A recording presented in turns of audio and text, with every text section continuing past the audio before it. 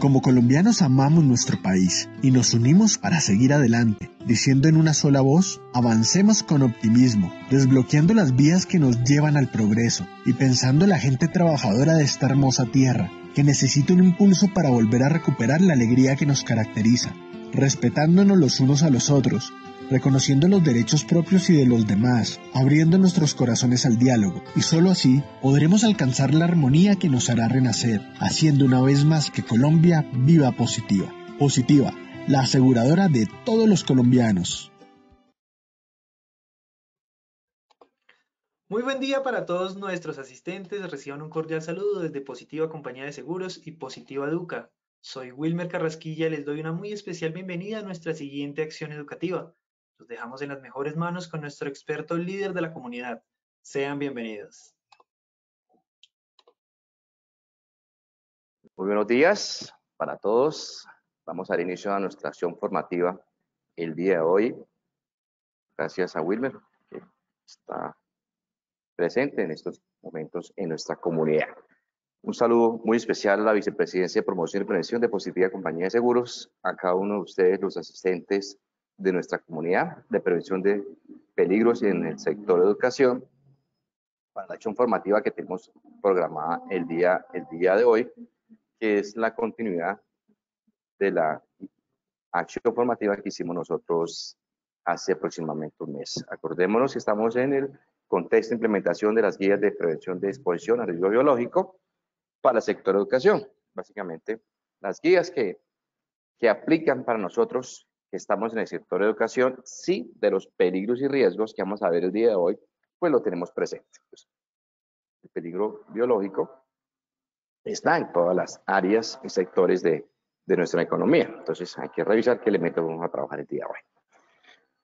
Mi nombre es Edgar Martínez Rosado, yo soy el líder técnico que Positiva ha designado eh, para llevar a cabo esas acciones eh, formativas.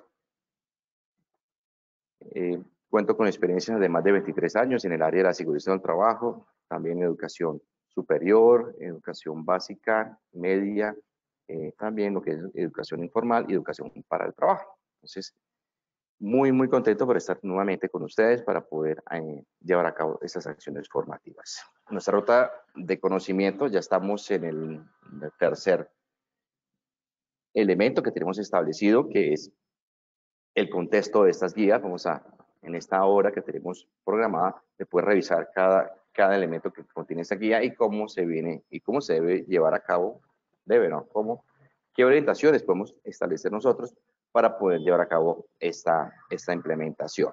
Pues esta norma que todavía no cumple un año, pero que ya requiere de nuestro esfuerzo para poder llevar a cabo esas actualizaciones dentro del sistema de gestión.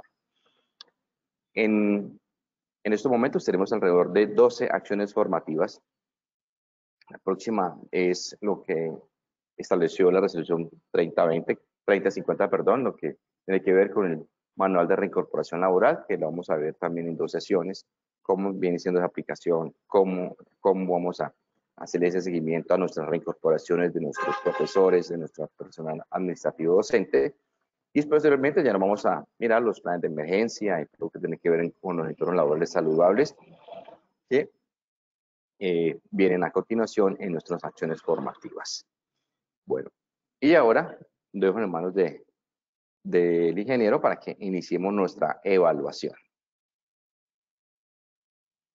Doctor Martínez, muchas gracias. Entonces le recordamos a nuestros asistentes el día de hoy que vamos a realizar dos sondeos, un sondeo al inicio para poder verificar cómo ingresan nuestros asistentes a la acción formativa y un sondeo de cierre, un sondeo final para saber cómo salen de esta acción formativa. Sin más preámbulos, vamos con la primera pregunta de nuestro primer sondeo. Amenaza, fuente, situación o acción que tiene potencial de daño causados por agente biológico o toxinas es a. Peligro biológico. B. Peligro químico. C. Peligro físico. Tienen unos segundos para que por favor seleccionen la respuesta que consideren es la correcta.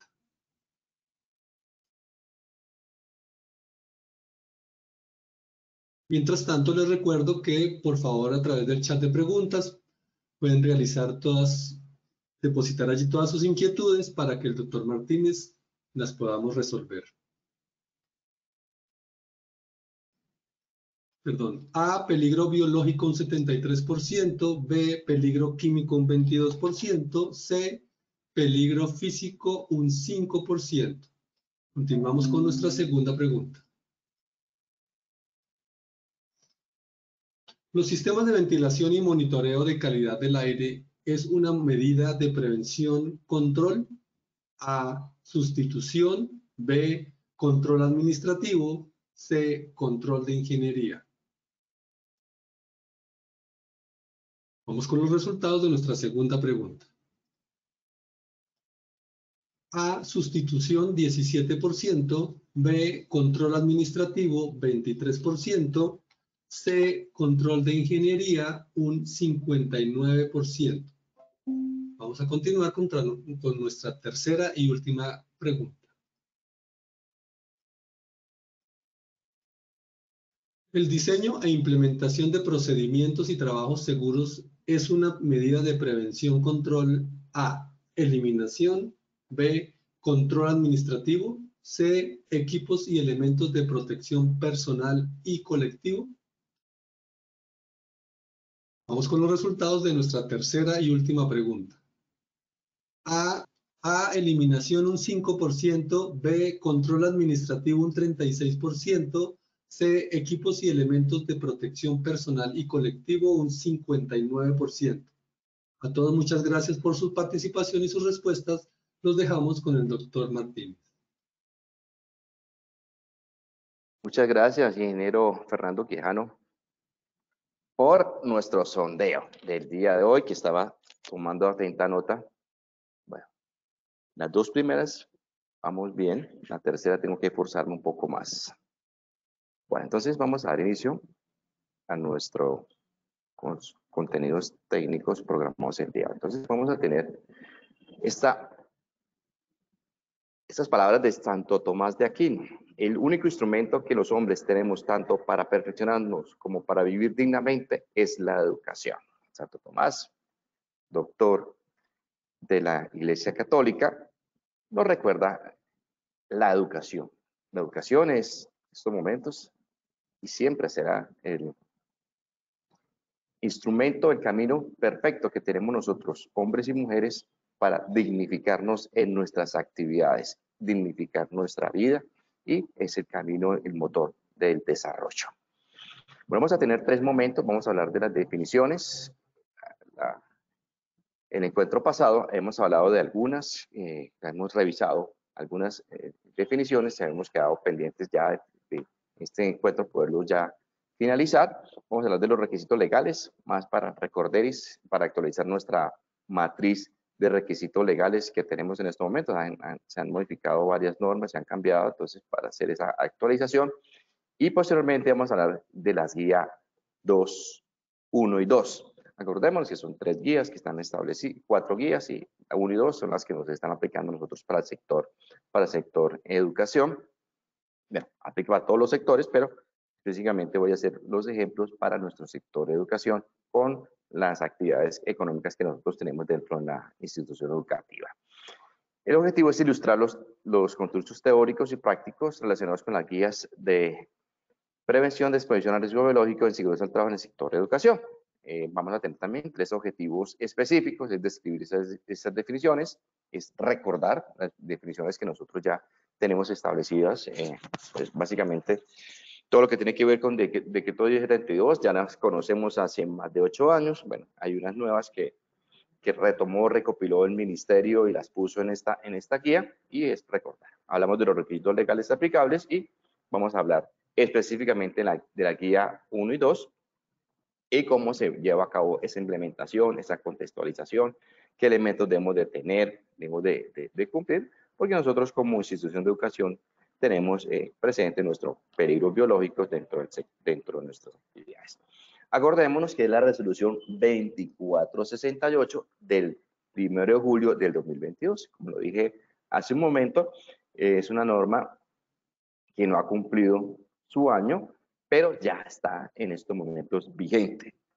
Y adopta las guías de prevención a exposición riesgo biológico en seguridad y salud en el trabajo, emitida por el Ministerio del Trabajo.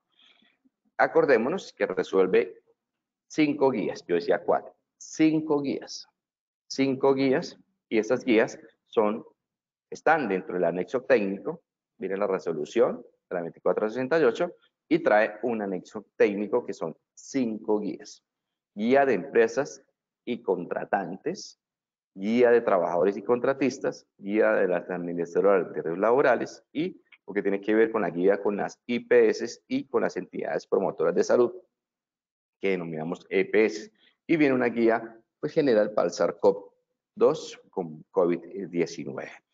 Nosotros, como institución educativa, pues estamos en estos momentos en el diseño e implementación de la guía 1 y la guía 2, que es lo que vamos a ver en estos, en estos momentos. La guía 3 y 4 pues no, no nos aplica a nosotros y la guía 5 pues está muy relacionado con el plan eh, de gestión que solicita para las empresas y contratantes que tienen presentes el peligro biológico. Aquí es importante que nosotros revisemos nuestra matriz de peligros nuestra matriz de peligros, matriz de identificación de peligros, porque si el peligro biológico está identificado, pues nos aplica la guía 1 y la guía 2, ¿sí? En estos, en estos momentos. Se dirá, ay, profe, pero es que eh, en educación, eh, en, ¿dónde está el peligro biológico? Pues miremos nuestros laboratorios. Bueno, nosotros, los que tenemos o asesoramos universidades, pues tenemos los laboratorios de biología, los laboratorios de morfofisiología, y nos aplica porque tenemos contacto con bueno, vamos a ver más adelante cada uno de esos peligros, tenemos contacto con sangre, con fluidos y también con, con material orgánico. ¿sí? Y vemos también en los colegios, en instituciones de educación básica, pues los laboratorios donde están también eh, el manejo de, de, animales, cuando se hacen algún tipo de, de acciones en los laboratorios de, biología de nuestros colegios. ¿Listos? Bueno, entonces el alcance, básicamente, es de obligatoria referencia y ser aplicada para las empresas públicas y privadas. Ahí estamos nosotros, nuestras instituciones educativas, eh, como ya bien sea las universidades públicas, que tenemos afiliadas a Positiva Compañía de Seguros, y también las instituciones privadas, como las universidades, los colegios, los centros educativos, la institución para el trabajo, de todos los niveles de formación. Entonces, todo lo que eh, les aplica que tengan una exposición a riesgo biológico es uno de los elementos que está establecido. Y también establece todas las actividades de prevención y promoción de la salud que se deben desarrollar para eh, las actividades de promoción de la salud ah, de acuerdo al derecho técnico y que muy, muy de la mano. No es hacer otro sistema de gestión, para el sector salud sí es, sí es un sistema de gestión porque está basado en el ciclo PHBA, pero para eh, nosotros que estamos en el sector de educación, que nos aplica la guía 2 y la guía 3, pues estamos muy, muy, muy relacionados. La guía 1 y la guía 2 estamos relacionados con el programa de gestión que vamos a hablar en esto a continuación. Es importante las instituciones que son universidades o educación para el trabajo y que tienen una IPS. Entonces, ahí sí les aplica la guía 4, ¿sí?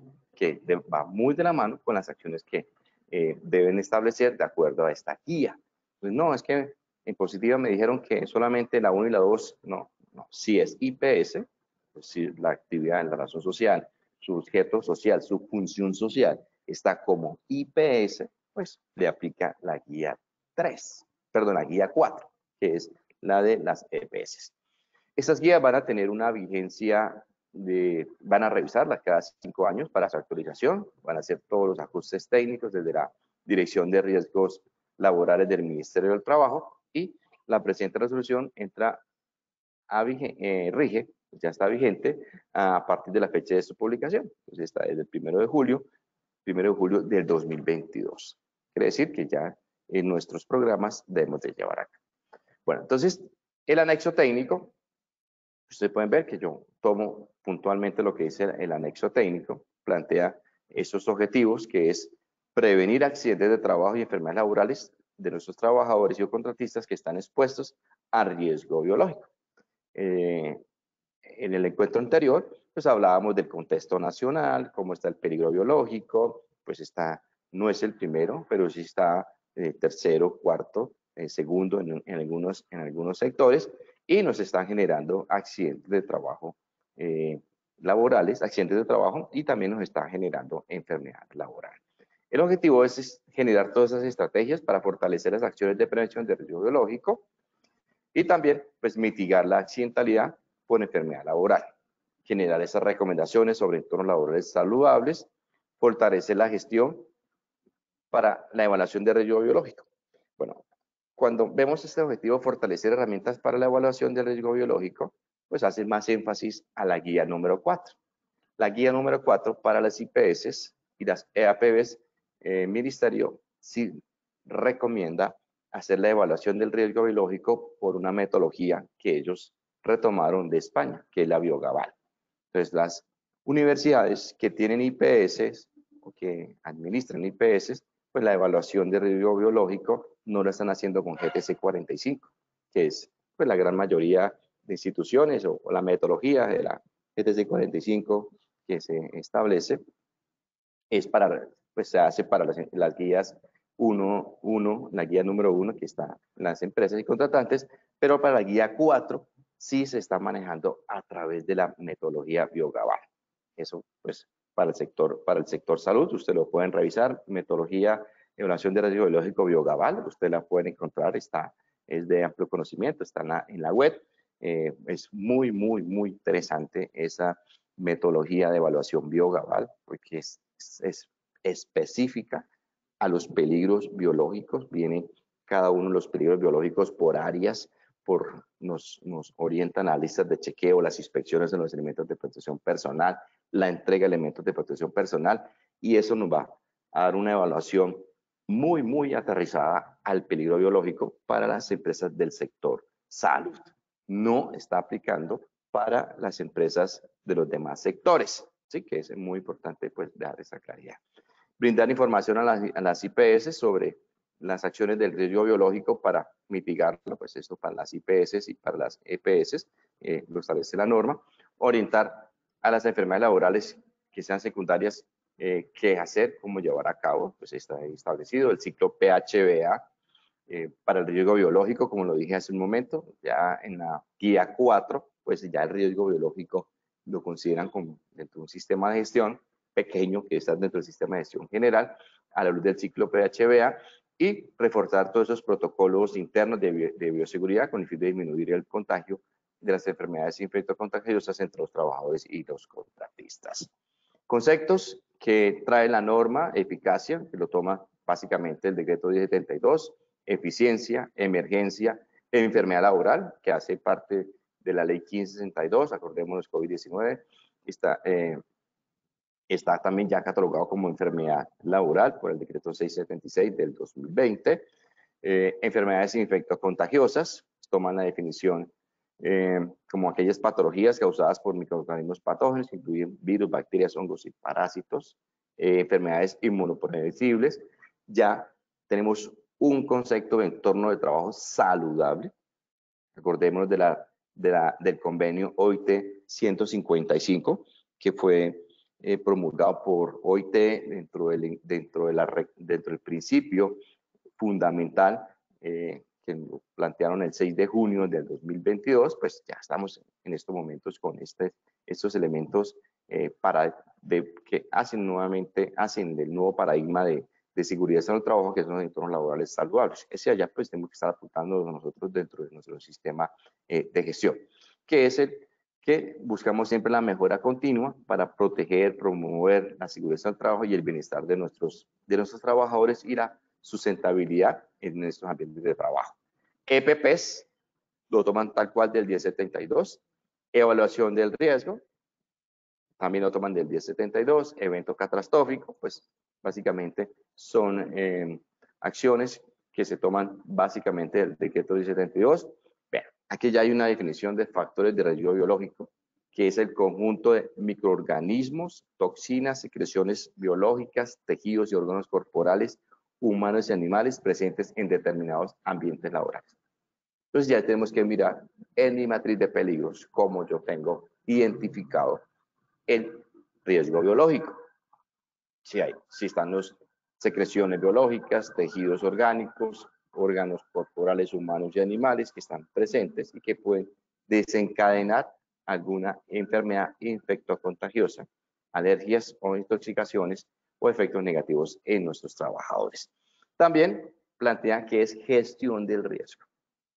Esta norma eh, contiene muchos elementos interesantes. Bueno, toma el decreto 1072, que pues guarda, que guarda esa coherencia, pero también retoma conceptos descriptores planteados por OMS y por OIT.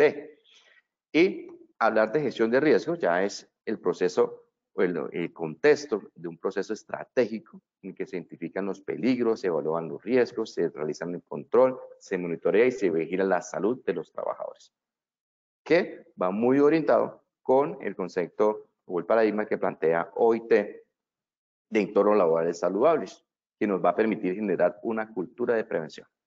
Hacia allá tenemos que ir apuntando nosotros.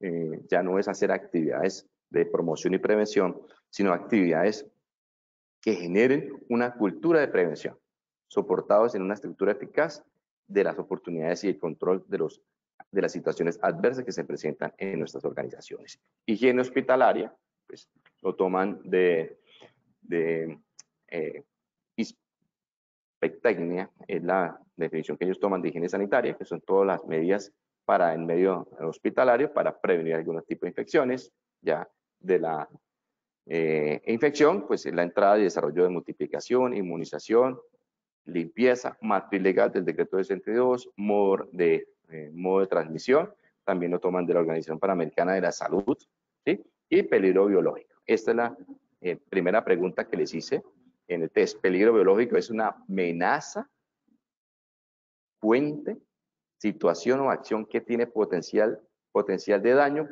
causados por agentes biológicos o toxinas. Eso es peligro biológico. Y ahí está el lineamiento del ministerio, donde se toma la definición de peligro, de peligro biológico. ¿Eso qué nos, qué nos sirve? Pues uno, para nosotros en el área de seguridad del trabajo, ya tenemos un descriptor que nos va a permitir mm, actualizar nuestros, nuestro, nuestro sistema de gestión y nuestro plan de trabajo a nivel de eh, plan de trabajo, no, a nuestro, a nuestro programa de gestión que debemos de desarrollar para el sector educación. Precauciones de estándar o rutinas, entonces ahí se toman todas esas acciones para prevenir las precauciones universales que, la, que hemos venido trabajando con, la, con el, con el COVID-19, programa de bioseguridad. Este programa de bioseguridad es el que nos corresponde a nosotros para el sector salud, si para el sector educación, si está presente el peligro biológico. Ese peligro biológico, pues, presente en la matriz de peligros.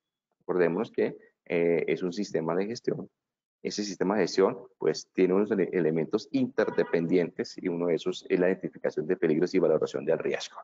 Ese programa de bioseguridad, usted dice, ah, pero es que yo ya tengo uno, el de COVID-19. Sí, ese es el de COVID-19, pero ya el de COVID, el programa de COVID-19 ya tiene que empezar a trascender.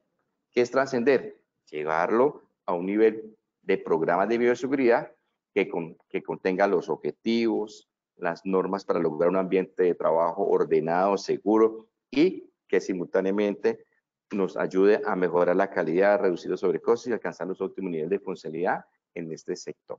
¿sí? Que es lo que tenemos que trabajar nosotros. Vector, eh, vigilancia epidemiológica, que lo toman directamente el decreto 1072. ¿Qué marco normativo tiene, tenemos? La ley novena, vigente, la 2400, la 156, la 1477, que nos habla de la tabla de enfermedades laborales, el decreto 1072, el decreto 1076, por el cual se expide el reglamento el, decreto único reglamentario del sector ambiente y desarrollo sostenible, todo lo que tiene que ver con el manejo de residuos, la 3100, más para las IPS. la circular 17, el 676, que lo hablé en la resolución 676, que habla de las enfermedades laborales, el 4888, que habla de la emergencia sanitaria, que está derogado, el 5022, que está derogado. ¿Sí? Entonces, ahora bien, generalidades de riesgo biológico. ¿Qué elementos tenemos dentro de nuestra matriz de peligros. Lo primero que tenemos que hacer nosotros en estos momentos en el sector es revisar la matriz de peligros. Esta matriz de peligros a veces un poco inmanejable, 30, 40, 50 hojas inmanejables y a veces un poco rígidas, es, debe ser y es la carta de navegación para hacer una identificación de esos agentes biológicos que están expuestos nuestros trabajadores. Entonces, ¿qué elementos plantea la norma? Trabajadores que por, su, que por ocasión de su trabajo entran en contacto de sangre y fluidos corporales, material orgánico natural como suelo, arcilla, partes de la planta como heno, paja, algodón, sustancias de origen animal, lana o pelo, comida o agua, o agua contaminada, polvo orgánico como harina, polvo de papel, caspa de animales, residuos y aguas, y aguas residuales, pues hace parte de, si hacen parte de nuestra matriz, si lo tenemos, bueno, virus, bacterias, protozoos, que lo, otros elementos que también tenemos nosotros en, en, nuestro, en nuestro contexto de la educación, acordémonos los laboratorios, eh, donde están nuestros, nuestros estudiantes haciendo sus prácticas por los, las sustancias eh, de origen animal que podemos eh, tener nosotros o también de origen orgánico. ¿sí? Los laboratorios de biología, de morfofisiología en nuestras, en nuestras universidades. Entonces, ahí ya nos están orientando pues, nuestro programa de gestión. Listo. También nos dice que tenemos que tener muy en cuenta dos categorías, ¿sí? Dos categorías que hacen referencia a los entornos de la exposición al riesgo biológico. Aquí también tenemos que revisar nuestro, nuestra, nuestra categoría. Si en mi actividad económica, perdón, en mi actividad eh, pues, eh, formativa, en mi actividad de educación, tengo exposición derivada de una actividad laboral con intención a manipular un agente biológico. Pues, por ejemplo, aquí tenemos todo lo que son los profesionales de las ciencias de la salud. Entonces, mi exposición es tipo A, ¿sí? Tengo profesionales de las ciencias de la salud. Ya es mandatorio. No, pero es que son mis estudiantes, claro, son mis estudiantes, pero también están mis docentes, mis área administrativa, eh, servicios generales que le hacen el mantenimiento, verificación, limpieza a estos laboratorios donde tengo estudiantes de ciencias de la salud, ciencias agropecuarias, ciencias biológicas, directamente en su trabajo manipulan ese tipo de gente y están relacionadas con las industrias de la biotecnología. ¿Sí? Entonces ahí ya vamos mirando nosotros. Hay universidades que tienen eh, docentes de ciencias de la salud, de ciencias agropecuarias, de ciencias biológicas. Pues, listo. Tenemos que ir preparándonos para ir actualizando, diseñando nuestro programa de riesgo biológico a la luz de la resolución 2468 del 2022. Ya el otro tipo de exposición, ya estamos haciendo referencia a lo que son eh, transmitidas de una persona u otra persona por contacto estrecho, por enfermedades por vectores, eh, enfermedades endémicas, que podemos estar nosotros expuestos dentro de nuestra institución. Entonces, también ahí está aplicado. Bueno, entonces ahora viene la guía 1, que es lo que nosotros como, como comunidad estamos sugiriendo. Ojo, el contexto, el contexto es de acuerdo a las exposiciones que tenemos, que tenemos nosotros. ¿Listos? Entonces la guía 1 se llama para la prevención y exposición a riesgos biológicos en empresas contratantes y empresas y contratantes. Aquí no aplica para empresas del sector salud. Es que la universidad tiene una IPS. Listo. Haga la de la guía 1 y la de la guía 4, porque la IPS es totalmente diferente con las acciones que se están llevando a cabo. ¿sí? Entonces aquí nosotros tenemos que empezar a trabajar. Lo que vamos a ver en estos momentos es los elementos de mi programa de riesgo biológico para empresas del sector educación, con cada uno de los elementos que tenemos. Entonces la guía es muy, muy clara. Y de la guía 2 vamos a tomar las responsabilidades que tienen los trabajadores y los contratistas en materia de riesgo biológico. En materia de lo que tiene que ver con la exposición al riesgo biológico. ¿Qué significa eso de la guía 2? Pues me va a cambiar varios elementos del sistema de gestión. Me van a cambiar, me va a cambiar, no, tengo que incluir y modificar responsabilidades, inducción, reinducción. Sí, vamos a ver más, más adelante. Bueno, la guía, la guía 1 pues habla de los tipos de transmisión y actividades donde se puede haber exposición al biológico. Esto es importante para revisar la matriz de peligro. Porque uno revisa las matrices de peligro y es virus, bacterias y, virus, bacterias y protozoos. Y uno dice, bueno, ¿y, y, cómo es el mecanismo de transmisión? ¿Cómo lo podemos identificar? ¿Dónde está ese tipo de exposición a los riesgos, a los riesgos biológicos? Aquí hablan de transmisión de persona a persona, personas en centros eh, sanitarios, personal de seguridad, protección, enseñantes, geriátricos, centros de acogida, penitenciarios, servicios personales, transmisión de animal a personas, zoonosis, veterinarios, ganaderos, industrias lácteas y materialeros y transmisión a través de objetos material contaminado. Aquí podemos tener nosotros a nuestro personal administrativo. Cuando hace limpieza a los laboratorios, que eh, puede haber un tipo de contagio a través de esa, limpieza que hace nuestro personal, nuestro personal sanitario y también lo que tiene que ver con eh, cocineros, bueno, sí, en nuestra institución educativa tenemos eh, el, servicio de cocina. No, es que lo tenemos tercerizado, entonces mm, mejor aún. Entonces tenemos que hacer control a subcontratistas de esta guía. Que esto, es, esto es muy importante que nosotros también en el control de contratistas podamos solicitarle al servicio de cocina, si está tercerizado, pues nuestra, la guía, la guía 1, cómo está la implementación. Listo, entonces ya empezamos. Dentro de las medidas de prevención y control que estén establecido, eh, esta guía 1 dice, hay que tener un plan estratégico de gestión de riesgo biológico. Así la denominó. La denominó la resolución 2468. Plan estratégico de gestión del riesgo biológico. Es lo que tenemos que hacer nosotros. ¿Y qué elementos debe tener? Lo que vamos a ver a continuación. Ustedes lo pueden denominar plan, eh, programa de gestión de riesgo biológico, plan estratégico de gestión de riesgo biológico, donde ustedes puedan establecer los elementos de la resolución 2468, que es el requisito legal que tenemos que estar nosotros cumpliendo dentro del sector, sector educación. Aquí vamos a evaluar la medida de intervención que va a permitir la prevención de los accidentes de trabajo con material biológico y de las enfermedades infecciosas laborales.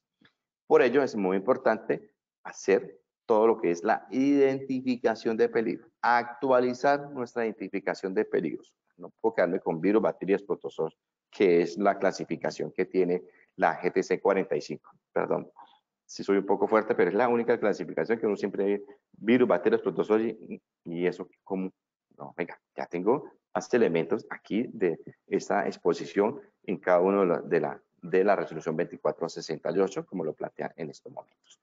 Y estas medidas, primero hago la identificación de peligros y adopto todas las medidas de prevención y control. Por eso hablamos de, los cinco elementos, eliminación o los cinco criterios que tiene la, la del esquema de jerarquía. Eliminación, que es la eliminación del riesgo, eh, mediante un método ideal que deberá aplicarse para que se mitigue el riesgo de una forma adecuada y que lleguemos a una eliminación. Sustitución en la que reemplaza un peligro por otro, pero que no genere mayor, mayor riesgo al que eh, tenemos anteriormente. Esos son los, eh, de acuerdo al esquema de jerarquía, después control de ingeniería, que fue la segunda pregunta que les hacía a ustedes. Y pregunté de los sistemas de ventilación y monitoreo de calidad del aire por COVID-19. Dirán, profe, pero si el COVID-19 ya se fue. No, pues se fue la emergencia sanitaria, se fue la pandemia, pero el COVID en estos momentos todavía está todavía está presente, cuando dice, no, es que tiene mucha gripa, nuevamente está eh, con, con, síntomas gripales, pues puede ser un COVID-19, pues ya con vacunas y con todas las medidas de protección, pues ya ha minimizado esa letalidad. Entonces aquí la medida de control de ingeniería es los sistemas de ventilación y monitoreo de calidad del aire. Es muy importante la medición del aire, como lo vimos en, en años anteriores en nuestra comunidad, pues evaluar la calidad del aire, monitorearlo para controlar esos agentes biológicos que se pueden, hacer, se, pueden transmitir por esta vía aérea. El control administrativo, que fue la otra pregunta que les, les hice a ustedes, que hace referencia a todo lo que tiene que ver con, con también la señalización, advertencias de demarcación, implementación de sistemas de alarma, diseño implementación de procedimientos y trabajos seguros. En estos momentos, el plan estratégico de control para exposición de riesgo biológico es un control administrativo, porque es diseño e implementación de procedimientos y trabajos seguros, no SPPs. Sí, no SPPs, es un control administrativo, que es lo que vamos a nosotros en estos momentos a, desarrollar y diseñar. Y los EPPs, pues, es la última, ojo, la, la D y la E siempre son los primeros en el esquema de jerarquía de muchas organizaciones y son los últimos, penúltimos y últimos en el esquema de jerarquía. Ya sea, lleguemos a un control, un control de ingeniería si no logramos con la eliminación en la sustitución, pero debemos iniciar siempre con, con eliminación, sustitución, controles eh, de controles de ingeniería, controles administrativos y finalizando con los elementos de protección personal. Entonces, ese programa de riesgo biológico, ¿qué debe tener? Entonces, debe diseñar un programa que contenga elementos de protección personal, con selección, adquisición, entrega, uso, mantenimiento, reposición, disposición, supervisión, capacitación. Venga, ¿qué es el ciclo PHB? No, es que yo ya tengo, yo ya tengo unos elementos de protección personal, tengo mi matriz de elementos de protección personal, pero aquí lo que nos están orientando es selección, compra, entrega, uso, mantenimiento, reposición, disposición, supervisión y capacitación. En mi programa de gestión, en mi, programa estratégico de, control de riesgo biológico, pues un elemento fundamental es los elementos de protección personal. No es un programa aparte, sino dentro de mi programa de gestión de riesgo biológico. Aquí tenemos que empezar a tener la visión o el enfoque sistémico. Pues, si ya tengo una matriz de elementos de protección personal, tengo que revisar cómo hago la selección, la adquisición y los elementos que me pide la resolución 24, 2468. Aquí eh, recomienda al ministerio que tengan un delegado responsable para la entrega y recambio de los elementos de protección personal, teniendo en cuenta las recomendaciones del sistema de gestión. Pero un elemento fundamental de mi programa de control, mi plan estratégico de control biológico es los elementos de mi protección, mis elementos de protección personal, para la redundancia. Aquí, el proceso de selección de los elementos de protección personal, entonces ahí, por favor, revise muy bien la resolución 2400 de 1979. Ahí me habla de las gafas, cómo deben ser las gafas, qué elementos o qué criterios deben tener las gafas, el requisito legal para elementos de protección personal, en este momento. Aparte de la resolución 24, 2468, también está la resolución 2400 del 2400 de 1979. Esto es lo que tiene que ver con las gafas. las gafas tienen unos criterios ahí establecidos que se están llevando, que se deben llevar a cabo, cómo es el tipo de las gafas, qué elementos debe tener las gafas, qué marca debe tener las gafas, qué criterios debe cumplir. En ocasiones Muchas gafas se están, se están comprando, yo quiero, los invito, revisen resolución 2400, las gafas, ya le dicen que sean, que sean de fácil manejo, que protejan contra el riesgo que se van a proteger, que tenga la marca del fabricante, muchas veces no la tenemos, creo que es el, el, literal F o G, eh, no las tenemos. Entonces son gafas que no cumplen el criterio del requisito legal. Y todos los elementos que eh, tienen establecido la 2400 para los criterios de selección de los elementos de, eh, protección personal. Bueno, aquí también nos dice que, qué características debe tener, cómo debe ser la matriz, qué elementos debe trabajar, qué, a qué deben eh, eh, proteger esos elementos de protección personal. ¿Qué obligaciones debe, debe tener los empleadores y contratantes? Pues todas las obligaciones están basadas en el decreto 1072 del 2015 y en la resolución 2346. Recordémonos que estas normas están, están vigentes, eh, se están en estos momentos implementando y eh, también hace parte de nuestro, de nuestro programa de gestión. Las empresas deben contar con un proceso de educación al personal que labora por turnos básicos de higiene y el control de fatiga. Definir estándares y patrones de, de tiempos de agentes biológicos y todo lo que tiene que ver con los descansos contar con un personal suficiente a demanda de servicios, adecuada dotación de, insumos y suministros, todo lo que tiene que ver con el seguimiento de aplicación de las normas estándares de, de precauciones que establece la OMS, señalización y demarcación. Pues ya la norma nos empieza a decirme, señalización y rotulación. Debe existir etiquetas de alerta de riesgo biológico en los siguientes elementos. Recipientes para eliminación de elementos cortopunzantes para nuestro laboratorio refrigeradores y congeladores que contengan sangre y otros elementos potenciales infecciosos. En nuestros laboratorios, si tenemos un laboratorio, tenemos un laboratorio de, de, de eh, manejo de sangre, ¿sí? Todo lo que tiene que ver con eh, eh, todo nuestro personal que está en estos momentos haciendo sus prácticas en nuestros laboratorios. Bolsas y canecas que contengan material contaminado, pues no es nada extraño, sino que lo que la norma nos está diciendo, venga, organicémonos, estructurémoslo muy bien el proceso, cómo lo tenemos que llevar a cabo en cada uno de esos elementos para el control del riesgo biológico. Y también establecen los indicadores. Aparte de los indicadores que tenemos del decreto 1072, que están establecidos en el artículo 224622, nos sugiere definir y estructurar los siguientes indicadores. Indicador de cobertura, de cobertura de las actividades realizadas, adherencia a las actividades en el marco del riesgo biológico, el cumplimiento de la investigación de accidentes de trabajo por riesgo biológico, la frecuencia por enfermedades infecciosas laborales, también accidentalidad por riesgo biológico y la proporción. Entonces hay que revisar. Yo sé que el marco que hablamos hace, hace un mes, pues se, repite. No es el peligro que mayor eh, representatividad tiene. Podemos tener del biológico, del, perdón, del biomecánico y del psicosocial y de conservación de voz, de la voz, que es biomecánico en algunos, algunos textos, son los más relevantes en nuestro sector, pero venga, también hay que tener el riesgo biológico ahí, ahí pendiente, trabajándolo, porque COVID todavía no se ha ido. Entonces, tampoco quiero que sea un programa estratégico para COVID-19, sino como les digo a varias instituciones, ya el programa de COVID-19 transforme en un plan estratégico para el control de exposición de riesgo biológico que contenga todos los elementos que hemos revisado hasta el momento. También debemos de tener dentro de nuestro programa de, gestión o programa de estratégico los procesos de, limpieza, desinfección y higiene. Entonces ahí está básicamente qué hemos, cómo va a ser la frecuencia, cómo lo vamos a llevar a cabo, cómo se va a hacer la preparación de productos de limpieza, desinfección y esterilización cuando aplique, cuáles son los tiempos de aplicación, todo lo que hemos manejado con COVID-19, pues ya lo incluimos y trascendemos en nuestro programa de gestión.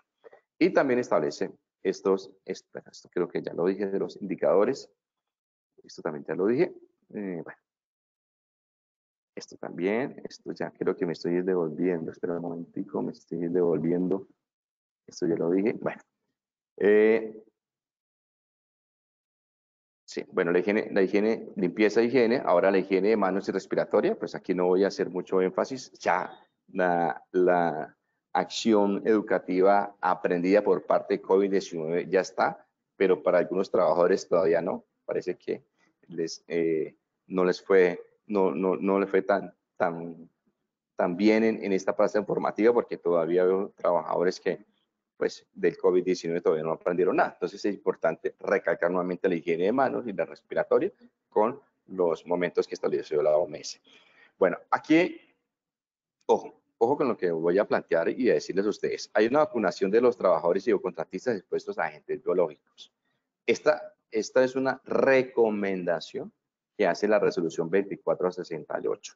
No es recomendación de la ARL, Positiva Compañía de Seguros es una sugerencia que hace la, el Ministerio del Trabajo a través de la resolución 2468. Esta eh, vacunación de los trabajadores expuestos a agentes biológicos, eso tiene que ser también revisado por el médico eh, especialista en seguridad y salud del trabajo de ustedes, que mire la condición de salud del trabajador, que mire la historia clínica del trabajador y si es factible, si es viable poder hacer un proceso de vacunación. No quiero que digan, allá ah, en positiva les dijeron, hay que vacunarlos a todos los trabajadores, que, a todos los trabajadores que son eh, administrativos contra la influenza. No, no es la sugerencia de positiva, sino es el marco que da la resolución 2468, que a bien ustedes pueden al interior de la organización revisar con su personal médico esta, estas acciones de vacunación que sugiere el ministerio. Ojo que todo es un contexto. Entonces aquí hablan, por ejemplo, de vacunación de, quienes trabajan con niños, pues los que están en los colegios, en educación básica y media, hablan de hepatitis A, varicela influenza. Los que están en estos momentos con manejo de aguas residuales, nuestros ingenieros ambientales que están en esta planta de tratamiento, entonces sugieren lo que es eh, hepatitis A, tétanos, rabia, fiebre tifoidea, influenza. ¿Sí? Aquí es una de las sugerencias que hace el Ministerio del Trabajo, pero con las recomendaciones que les estoy comentando a ustedes. Bueno, ventilación en aires en los ambientes laborales es importante. Bueno, aquí está la resolución 2400, es una de las normas que siempre les voy a sugerir en temas de seguridad industrial. La ventilación es muy importante, evaluarla, verificarla y hacer todas las recomendaciones, cumplir todas las recomendaciones que nos plantea esta resolución 2400. El manejo de residuos, que es otro de los elementos que debemos de tener dentro de nuestro, nuestro plan estratégico, o si hay un plan estratégico de, de, eh, de gestión integral de, riesgos de residuos, lo que hay que darles a, a, conocer a ellos son los elementos que deben cumplir con la 2468. No es que hagamos un plan aparte, sino que nos adherimos al que tiene la institución educativa general. La guía 2, que es una guía para trabajadores y contratistas, que está orientado a que nuestros trabajadores también tengan conocimiento general del riesgo biológico en los entornos laborales, laborales que nos ayuden a promover el autocuidado, a empoderar a nuestros trabajadores con el conocimiento de los aspectos biológicos y todo lo que tiene que ver con este conocimiento. Aquí ya nos hablan de los aspectos básicos del riesgo biológico. Esto es tomado directamente de la guía, que hay una vía de transmisión del agente biológico vía respiratoria, vía dérmica, vía oral digestiva y también la parenteral. Bueno, quería llegar a esto. Esas son las obligaciones que establece el decreto 1072 en su artículo 2, 2, 4, 6, 10. Los primeros ya los conocemos. Entonces yo doy por hecho que ya está en su manual de responsabilidades. Ya está en su procedimiento de inducción y reinducción del trabajador.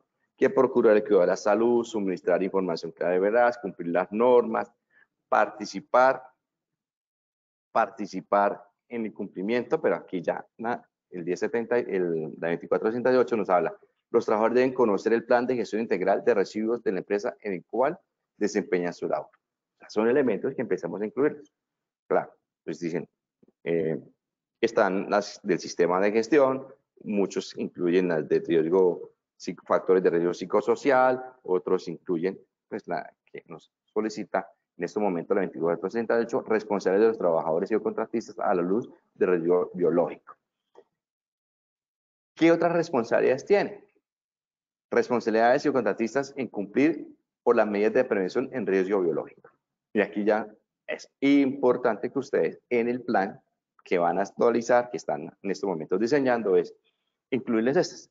Asistir a las capacitaciones realizadas por el empleador o contratante o la administradora de derechos laborales. La positiva, vaya con nuestro personal a hacer capacitación, ojo, en riesgo biológico. En nuestra, en nuestra institución educativa, pues es una responsabilidad del trabajador para que cumplan, pues, cumplan estas medidas que están establecidas en la 2468. Poner en práctica las técnicas de higiene, hábitos saludables y lavado de manos. Utilizar los elementos de protección personal y responder por el uso adecuado de, dichos elementos.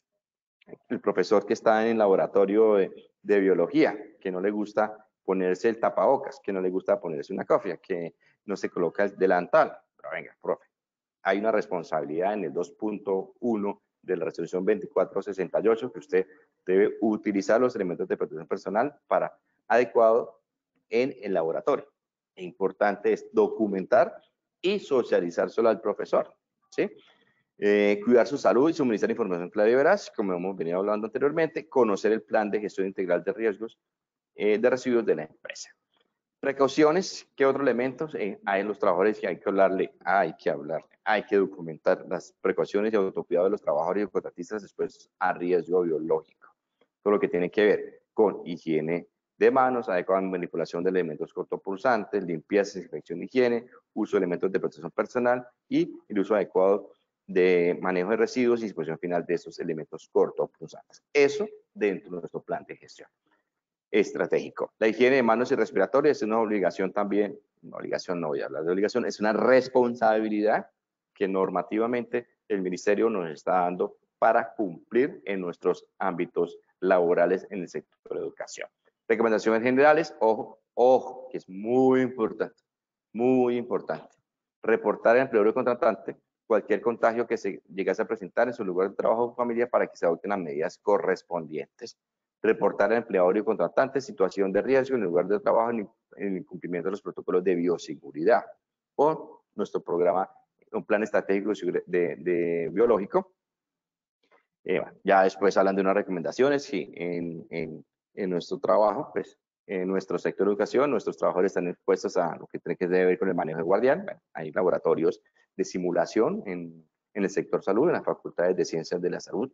Hay estos, estos laboratorios, pues es muy importante documentar y socializar con nuestros, con nuestros docentes, pues estas recomendaciones generales. Bueno, aquí hay un formato de reporte de incidentes y accidentes de trabajo, responsable del reporte, trabajo involucrado, tipo de dependencia, pues un, un formato que utilizo muy, muy a menudo en nuestro sector educación para pues, el reporte de incidentes y accidentes, qué fue lo que sucedió y cómo lo podemos llevar a cabo.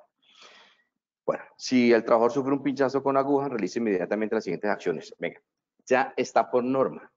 ¿Qué hacemos nosotros? Pues retomarla, citarla y socializársela a nuestro trabajador.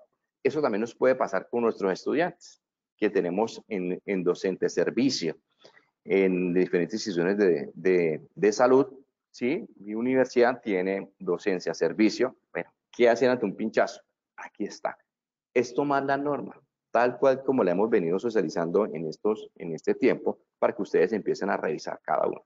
Bueno, en, tiempo de pinchazo, en, perdón, en tiempo no, en situación de pinchazo, se realizan las siguientes acciones. Enjuague de las heridas con algo jabón. Avisar al supervisor para que inicie el reporte sobre lesiones en lugar de trabajo, reporte al servicio de salud de la IPS o departamento de emergencia u otra institución para tratamiento y la atención por biológica de una forma oportuna. De una, ya lo tenemos de una vez listo, ¿cómo lo vamos a llevar a cabo? ¿Para qué? ¿Qué hacemos? ¿Se pinchó? No, ah, miremos, no, échele café, échele agua. No, venga, ya está establecido. ¿Sí? Entonces, no, pinchazo, échele café. O échele un eh, hipoclorito. No, venga. Ahí lo que dice la norma. ¿Qué dice la norma? ¿Qué dice la norma en relación en cada uno de esos elementos? Lo del hipoclorito, lo del café es, eh, o limón, a veces sucede, esto no se debe hacer. ¿Sí? No se debe hacer. Hagamos los elementos o los pasos a pasos que están establecidos en este elemento de la 2468. Uso limpieza y mantenimiento de los elementos de protección personal. Entonces, es importante recordar a los trabajadores cómo se debe hacer esa, esa limpieza, ese recambio, ese almacenamiento, como es aquí establecido. Este es un esquema de jerarquía de medidas de prevención y control con virus, bacterias y protozoos. ahí podemos ampliarlo más con el contacto indirecto, indirecto, las vías de transmisión que tenemos que tener, las posibles consecuencias. Y están ELI, eliminación, sustitución, controles, controles de ingeniería, controles administrativos y de elementos de protección personal individual y colectivo. Me hace falta ir trabajando en las eh, eliminaciones y sustituciones. Estoy pues, mirando las vacunas que me hacen falta incluir, el uso de PPs. Entonces, eh, contar con un esquema de vacunación. el esquema de vacunación es un control administrativo, pero ojo, no es que está positivo diciendo, tenemos que vacunar a todos los trabajadores. Hay una sugerencia por parte del ministerio eh, con riesgo biológico que podemos revisar al interior de nuestro equipo médico para poder contar con los esquemas de vacunación. Implementar el programa de ordenación en el sitio de trabajo es un control eh, administrativos, eh, todo lo que es sanitizar con recursos, insumos apropiados los ámbitos de trabajo, control de ingeniería, evitar depósito de aguas limpias y sucias, control de ingeniería, implementar programa de control de plagas, medidas de eh, implementar medidas de bioseguridad y barreras de protección, controles administrativos. Bueno, es un ejemplo que siempre utilizo de, de este esquema de jerarquías. Bueno, entonces, muchísimas gracias a ustedes. Creo que hemos abordado un tema bastante interesante. Seguimos eh, trabajando desde Positiva Compañía de Seguros para que todos esos elementos que se están trabajando desde el punto de vista normativo, pues sean eh, placenteros llevar a cabo y, y, cumplir con cada una de las acciones que nosotros estamos realizando. Los dejo con el ingeniero Fernando Quijano para nuestra evaluación final. Doctor Martínez, muchas gracias. Vamos a ir con el sondeo final con nuestra primera pregunta. Amenaza fuente, situación o acción que tiene potencial de daño causado por agente biológico o toxinas es A. Peligro biológico, B. Peligro químico y C. Peligro físico. Vamos con los resultados de la primera pregunta.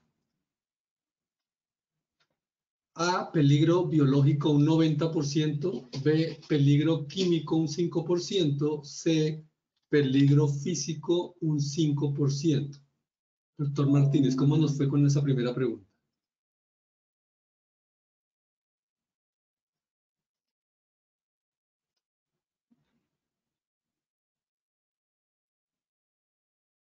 La segunda pregunta nos dice, los sistemas de ventilación y monitoreo de calidad del aire es una medida de prevención control. A, sustitución.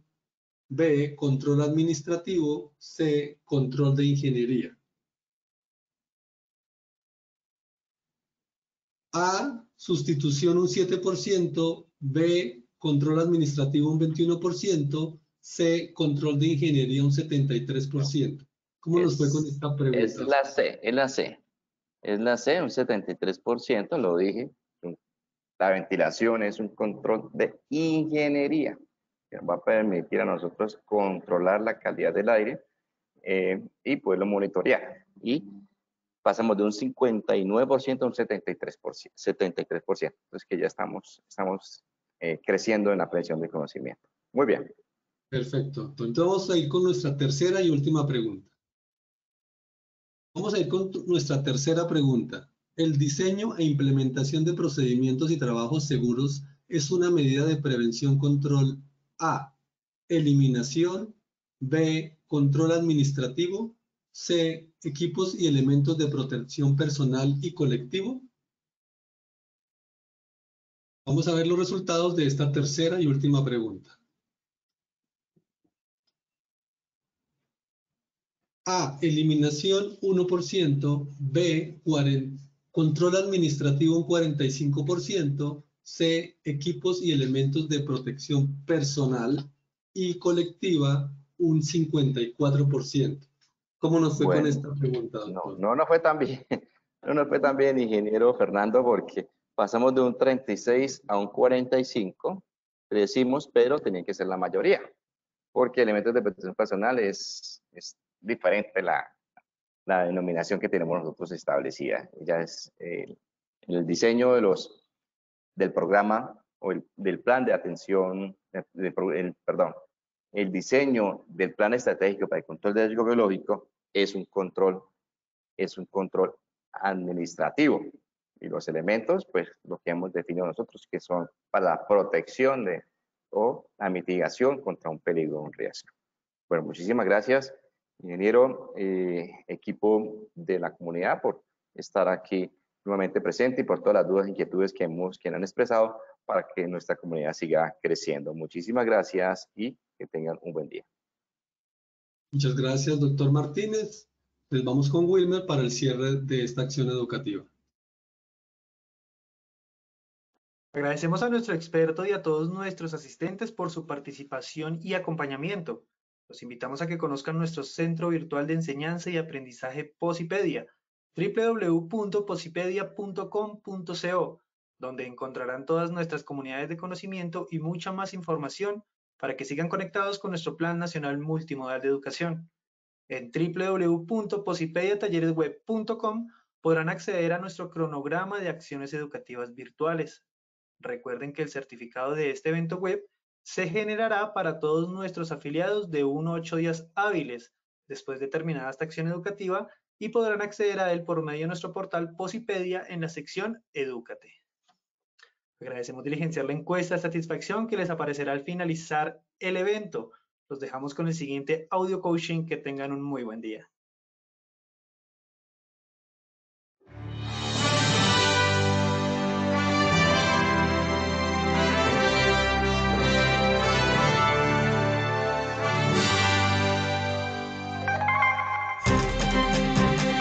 Bienvenidos.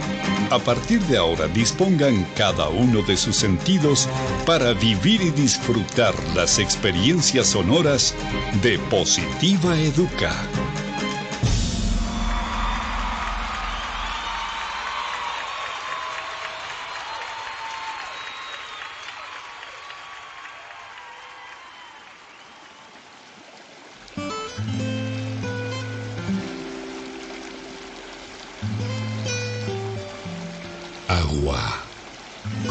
De gotas cristalinas y de consistencia liviana, tan transparentes como la verdad, complacidas de unirse para hacer un mar de oportunidades y ofrecerse sin reservas a todos los espíritus sedientos de gozar una buena existencia.